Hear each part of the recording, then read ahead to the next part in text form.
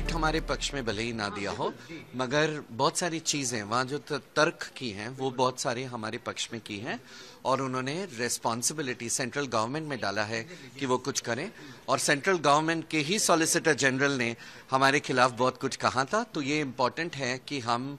Governments के पास जाएँ हमारे इलेक्टेड अगर कोई एलजीबीटी समुदाय से कोई बिलोंग करता है तो आपके इलेक्टेड एमपी के पास जाएँ आपके इलेक्टेड एमएलए के पास जाएँ उनसे बात करें और उनको बताएँ कि हम उतने ही अलग हैं जितने कि दो लोग होते हैं। जंग जारी है आ, ये हमारा जो प्रयास है इक्वालिटी की तरफ़ वो प्रयास जारी है।